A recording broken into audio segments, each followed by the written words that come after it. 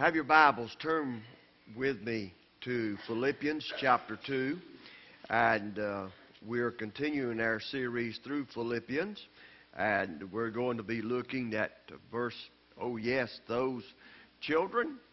Uh,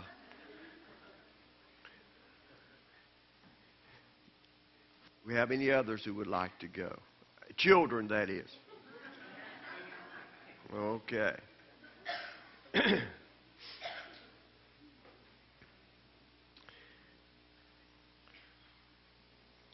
In Philippians chapter 2, we're going to begin looking at verse 16. We concluded there last week and just made reference to that verse, but uh, we're going to begin there today and uh, look at it with me, if you will.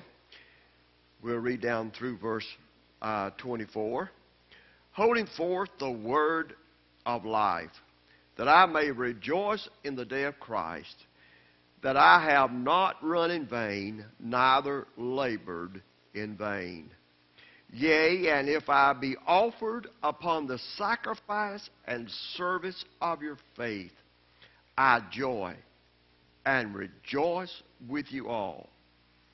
For the same cause also do ye joy and rejoice with me. But I trust in the Lord Jesus to send Timotheus shortly unto you, that I also may be of good comfort when I know your state. For I have no man like minded who will naturally care for your state. For all seek their own, not the things which are Christ Jesus or Jesus Christ. But ye know the proof of him, that as a son with a father, he has served with me in the gospel. Him therefore I hope to send presently, so soon as I shall see how it will go with me. In verse 24, we'll conclude there. But I trust in the Lord.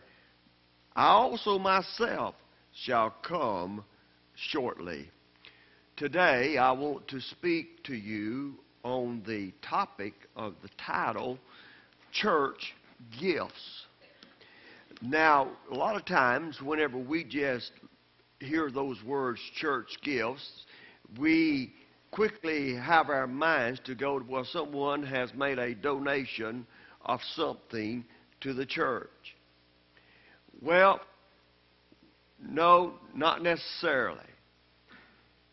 Not in that sense am I speaking this morning. It is true that that uh, in that ideal of thought to some degree, but it goes much further than that. For instance, let me see if I can get to where I want to go. Number one, if you're saved, if you have come to know Christ, you have received a gift. It is called the gift of eternal life. It is eternal. God has given it unto you because you have come to the place to, by faith, trusting Jesus Christ as your Lord and Savior. And so, therefore, you have received a gift based upon those, those facts, and if you have experienced those facts in your life. Number two, whenever you received the gift, you were also gifted. In other words, you received the gift of salvation, and whenever you did, God took and also implemented within you another gift. It is a gift in which He gave you in order that you may be a contributor to the function and the healthiness of the body of Christ. Now the Bible tells us about those gifts in 1 Corinthians chapter 12. He speaks of those. And uh, some have the gifts of administration, some have the gifts of help, some have the gift of, of ministry, some have the gift of preaching, some have the gift of teaching, some have other gifts, but uh, some have the gifts of helps. Uh, but everyone who is under the sound of my voice, who has ever come to know Christ, yes, you have received the gift of eternal life, but in that moment that you you did receive that gift, God took and implemented within you something else. He implemented within you a gift uh, that He gave you for the benefit of the body of Christ.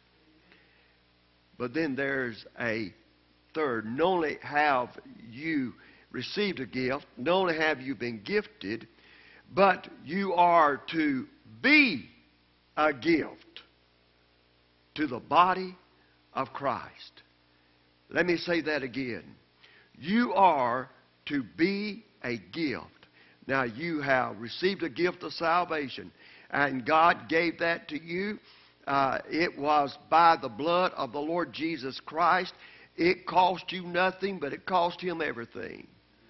He purchased you. You don't belong to yourself, you belong to Him. Because God has gifted you. He's given you a gift. And in that, He gifted you. In other words, He imp- implemented something within you, an ability, in order that you might function in a certain place within the body of Christ and serve Him and honor Him there, that the church may be healthy and the church may flourish. And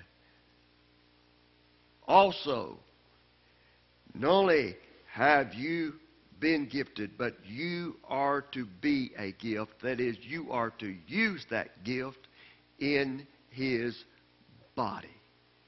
You're to use it in His body. Now, that gift has to be developed. It has to be developed. And what is so sad, listen to me very carefully.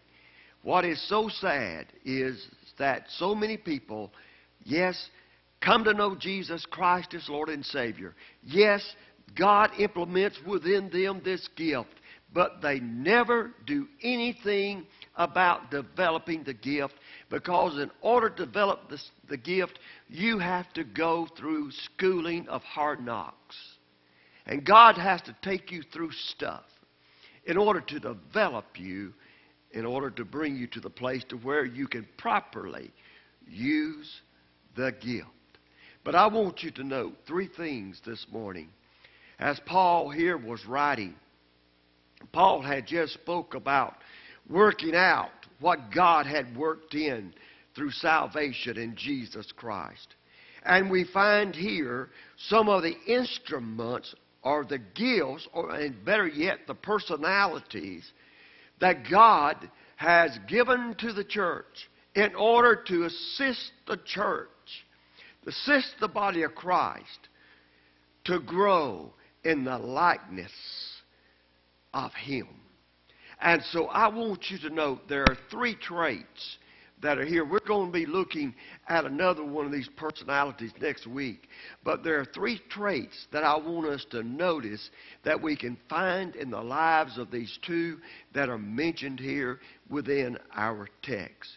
The first trait that we find in a person who has come to that place, who has not only been saved, not only understood that they received a gift in order to use the working life, but they have developed that gift to where they are now in the position of using it. And I want you to note some of the traits that an individual has whenever they get to that point, to where they are usable in the body of Christ. First of all, I want you to note the first trait is the trait of desire. The Apostle Paul was writing, if you'll note there in that verse 16, the Apostle Paul was writing there, and he was talking about the first thing that he talked about was fruitful. That is, sharing the Word of God, holding forth the Word. Now, whenever he was talking about holding forth the Word, he wasn't talking about just holding it forth as far as proclaiming it with the lips. He was talking about holding it forth by proclaiming it with your life. And folks, if you're not proclaiming it with your life, you need to hold up on proclaiming it with your lips. Because your life is going to counteract whatever you say with your lips. So you need to back up what you're preaching. Amen? And so it doesn't mean perfection. I'm not talking about perfection there, but I am talking about being at a place to where you have a Christian witness and you identify with Jesus Christ. And so here he's talking about being fruitful. He says, I have a desire that there be a fruitfulness in your life. And whenever a person comes to the place of reaching that point, that level of, of maturity and that development uh, to where they are usable in the body of Christ, they will have that desire for fruitfulness, not only in their own personal lives, they will have it there, but they will desire it in the lives of others. They'll want others to be developed in Jesus. They'll want others to grow in Him. They will want others discipled. They want others to be mentored. They want others to grow in Christ. But then I want you to note a second thing in relationship to desire. Nor does Paul here speak of fruitfulness, but he also speaks of fearfulness. There's another thing that has to do with a person who has a desire. Not only do they desire fruitfulness, but they also at the same time have this fearfulness. Because Paul went on to say, if you'll look there in verse 16, he went on to say, he says, one of my fears is that I run the race in vain. In other words, all the time that I put in, every, every hour, uh, every, every moment, all the energy that I put in, I don't want to be to where I put it in and it be in vain. There is a fearfulness that is in the life of a person who has come to that place in their spiritual development to where they are at the point that God is able to use them because they have developed that gift or gifts and they are at the maturity level to where it's not about them, it's about others, but yet they have this fear of running in vain. They don't want to waste their time. They don't want to do that. They want it to be used for the glory of God. According to one study, and I received this off of Facebook this week, a pastor uh, took and posted it, and uh, I took and, and uh, looked at it. But anyway, it had to do with with uh, five things that discourages pastors. And uh, one of the one of the five things, according to to this study that was done, that causes discouragement among pastors, is the lack of spiritual growth and maturity uh, within the church in which they pastor. You know, one of the greatest joys I get, brothers and sisters, is seeing you develop and seeing you grow in your knowledge and your understanding and seeing God change your life. That's one of the greatest blessings I have in the ministry. And it should be in the life of every pastor. But not only is it so in the life of a pastor. It is so in the life of every person who has come to that place to where they are in the body of Christ uh, to the point to where not only are they being ministered to, but they're ministering because they have developed the gift or the gifts that God has given them. And it tickles them. It's a blessing to them to see others grow in the likeness of Jesus Christ. And so, listen, I want you to note that whenever it comes to church gifts, whenever it comes to church gifts, one of the characteristics of a person who is there to where they're able uh, and they're qualified, they have the ability to use their gifts, is that they will have the trait of desire in their life. Are you there? Have you gotten there yet? Or is your life still, you know, it's about you and you know what's going on in your family? What's going on on your job? You know, and everything else is secondary to you. As far as Christ and His service, you know, you, you show up on Sunday. And you're in the Word maybe on Sunday because the preacher, after all, is up here preaching. But yet, until next Sunday, it's just, you know, it's limited to that. I hope not. I hope and pray that you've applied yourself to develop and to grow and to discover and implement the gift or gifts that God has given unto you. No, you may not be able to sing. You may not be able to carry a note on a piano. Don't feel bad. The only note I can carry is on a radio. Not everybody is gifted in music. Not everyone is gifted in other areas, but you're gifted in something. God has given it to you. And you need to be developing it. And if you are at the point of development, there will be a desire in your life that wasn't there before. But then I want you to note a second thing. Not only do we find here uh, the characteristic or the trait of desire, we also find the trait or the characteristic of distance. In verses 17 and 18, the Apostle Paul speaks there. And listen to what he says. Yea, and if I be offered upon uh, the sacrifice and the service of your faith. I joy and rejoice with you all. Now, I want you to note how far the Apostle Paul was willing to go. And this is the characteristic of any person who has come to this level in their Christian maturity. And that is that they're willing to go the distance. You say, What do you mean, Brother Tommy?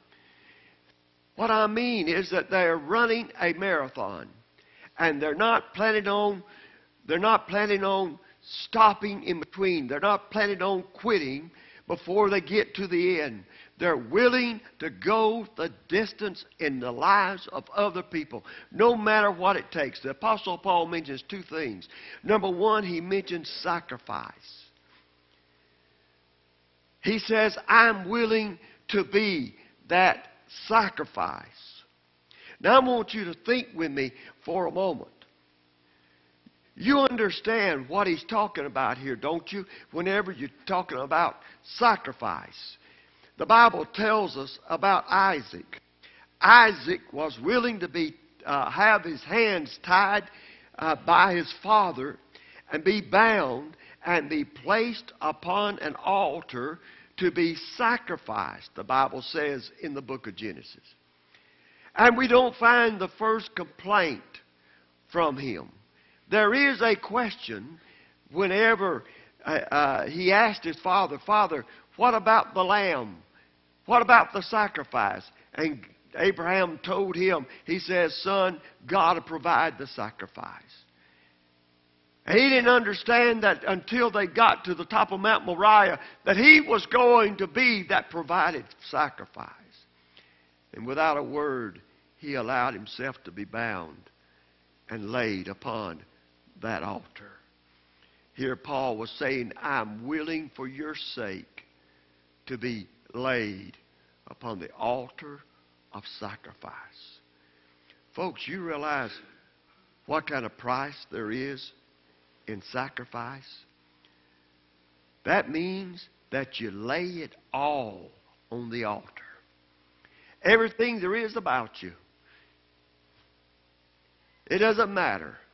You lay it all on the altar. No reservations. No nothing. You're willing to forfeit everything for the sake of somebody else. And Paul said, I'm willing to be that sacrifice. But then he mentions another word there in verse 17. If you will look at it, he uses another word. Not only does he say that I'm willing to go the distance in sacrifice, he says I'm willing to go the distance in service. Now, that word service there carries with it the word servant. The word servant means slave. In other words, if you were a slave, you receive all of your instructions from someone else. You don't do what you want, you do what they want. You belong to someone else. You are a literal slave for the benefit of others. In other words, if you're a slave, if you're in service, if you're a servant, you are, you are at the state that you are the lowest of the low for the benefit of other people.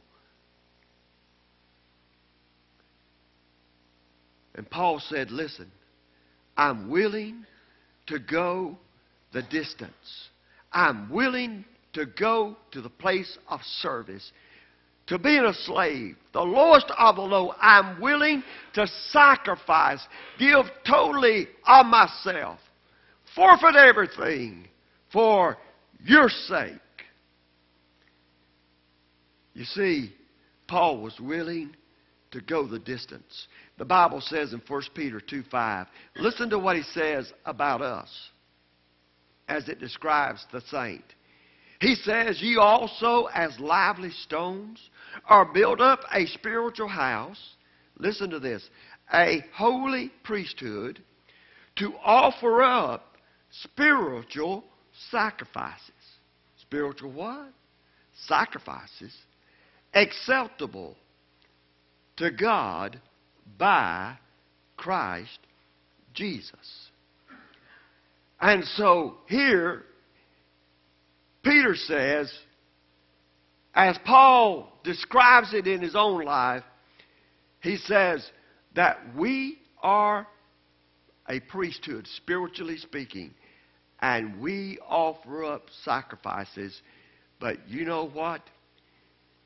In our lives, whenever it comes to us, the spiritual sacrifice that we as a holy priesthood we present are not lambs that belongs to somebody else, but it's our lives that we have been willing to give up for everybody else. And so here he says, I'm willing to go the distance. Let me ask you this morning have you come to the point in your life? And I realize that I'm getting down to the nitty gritty. But you understand that before I ever preach to you, I have to get down to the nitty gritty whenever it comes to Tommy White. That I preach to me before I ever preach to you. I have to apply this to me before I ever apply it to you. Have you come to the place? Have you come to the place to where you have been willing to say, I, I am going the distance? That I'm willing to be that sacrifice. That I'm willing to be the lowest of the low. I'm willing to be that slave for the benefit of somebody else. That others may grow in Jesus Christ. You know, I thank God for mothers. And sometimes fathers, because fathers are, are, some of them are willing to do that as well. But whenever a, a mother has a small infant, if that mother's a caring mother, that mother is willing to be up several times a night to answer the call to that crying baby. Whatever is sickly, she will hold it all night long. She will go hours without rest. And sometimes that father will too, if he's a caring father. He'll do that. And they do it not for themselves, but they sacrifice themselves for the sake of that baby.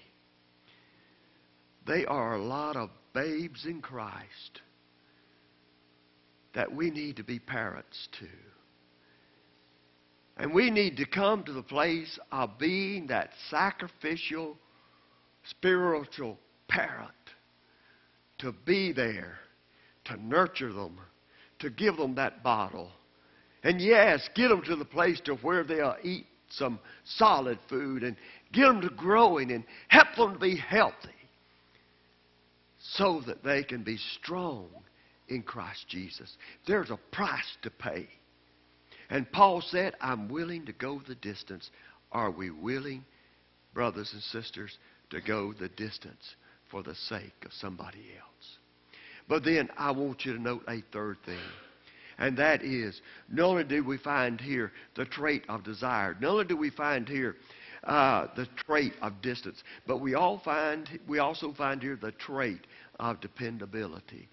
Listen to what he says about Timothy, and we will quickly close. Listen to what he says about Timothy. He says in verses 19 through 22, he says, first of all, whenever it comes to Timothy, and he says, I'm going to be sending Timothy to you, he says, Timothy can be trusted. That's basically what he says in this verse. Uh, he says uh, in verse 19, But I trust in the Lord to send Timothy shortly to you. He's trusting the Lord, but he's also putting confidence in Timothy. In other words, Timothy is dependable. He can be trusted. In verse 19, he is trusted as a communicator. In verse 20, Paul trusts him as a person of character. He says no one he could depend upon more that he could depend upon Timothy. Timothy can be trusted. If I send Timothy to you, I'm not going to have to wait, wait, uh, uh, uh, lay awake at night wondering because I can depend upon Timothy to do what is necessary. Timothy can be trusted. Not only as a person of character, not only as a communicator, but also as a person of conduct. He says in verse 21 there, he says, For all seek their own, not the things which are Jesus Christ. Now, I personally believe that Apostle Paul is speaking of generality here, that in the, in the lives of, of so many, that they seek their own. But whenever it comes to Timothy, that's not the case. He's not seeking his own. His life is not about him, it's about others. And so I know that I can send Timothy to you because he's not going to be focused upon himself, his own personal benefit, but he's going to be focused upon your benefit. And so he says he's a person that's dependable whenever it comes to conduct. Because he's going to be caring about you and what's happening with you. But then I want you to note another thing here when it comes to the characteristic or the trait of being dependable. Not only, not only do we find here the trait of being dependable in that he can be trusted. Listen, Timothy could be trusted because he was already tested. Look in verse 22. For we know the proof of him that as soon as, uh, rather, as Son with the Father, He has served with me in the gospel. The word proof there means to test. In other words, uh, it means that uh, in the Greek, that word proof means dokime. And it uh, is defined as experienced having been through trials. In other words, Timothy, even though he was a young man, he had been put through the fire. He had been on the battlefield. He had been proven. He was trusted because he was already tested and he passed the test. He had served as a servant. He knew what it was to be a slave of the Lord Jesus Christ in sharing the gospel. He had a servant's mind and he had a servant's training. You know why I say that? It is because it's obvious that in Timothy there was this teachable spirit. You never find in the life of Timothy, you never find in any of his personal or personality characteristics, you never find this, this implication that he was arrogant, that he was a know it all, or you could not tell him anything. He was teachable. And so here he had been tested and proven, and now Paul says, I know that I can trust him to send him to you. The third trait of being a usable gift in the body of Christ, folks, is dependability. Is dependability. People can have talent all day long. But can I tell you, talent is not, and even giftedness is not worth a flip unless it can be depended on. Amen? It's not worth a flip. You know what Proverbs says? Proverbs says it's better to have working for you an, an apprentice, that is, a person who is just starting out, than it is a person who knows what to do but too lazy to do it. It's better to have someone who is just starting out than it is someone who knows what to do but too lazy and undependable to do it. Folks, there's nothing like dependability. Amen.